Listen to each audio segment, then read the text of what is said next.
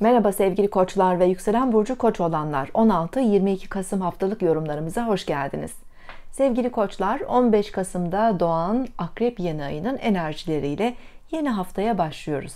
Ayın ışığı yavaş yavaş büyüyecek, hilal fazına ulaşacak. Bu da yeni ay hedeflerimizi, dileklerimizi hayata geçirebilmemiz için, adımlar atabilmemiz için bize olanaklar sağlayacaktır.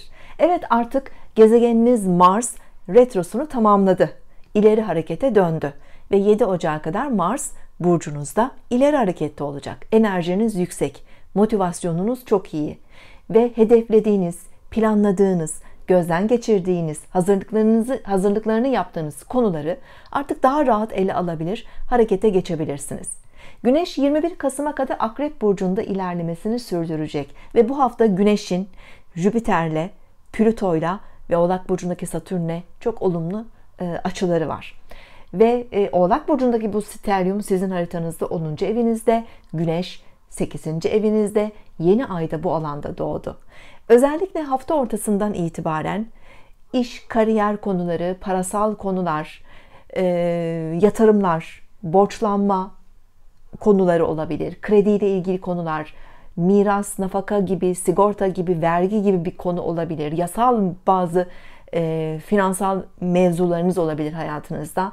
Bununla ilgili yeni girişimlerde bulunmak, adımlar atmak, gereken e, maddi manevi destekleri bulmak adına gökyüzü sizi e, destekleyecektir. Evet pazartesi ve salı ay yay burcunda olacak. Haftaya enerjimiz yüksek başlıyoruz. Ayda artık hilal fazına doğru ilerliyor.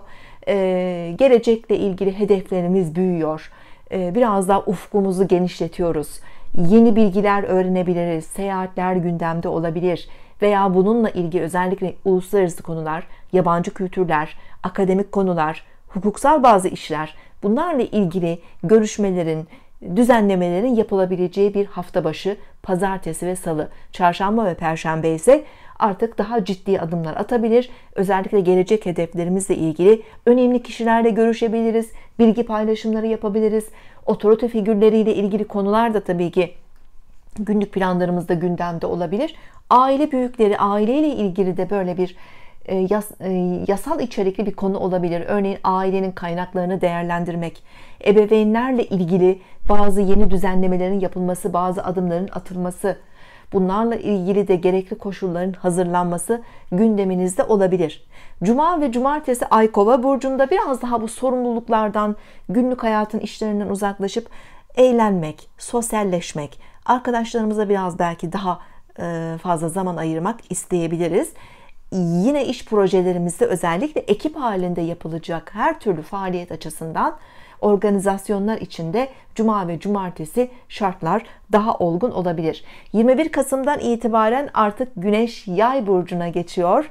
Tabi bu bir enerji değişimi ve önümüzdeki bir ay Güneş sizin 9. evinizi aydınlatırken geçtiğimiz aya kıyasla daha iyimser, daha coşkulu, özgüveninizin biraz daha yükseldiği, dışa dönük girişken bir dönemde sizin için başlamış olacak sevgili koçlar. Sağlıklı ve mutlu bir hafta dilerim. Hoşçakalın.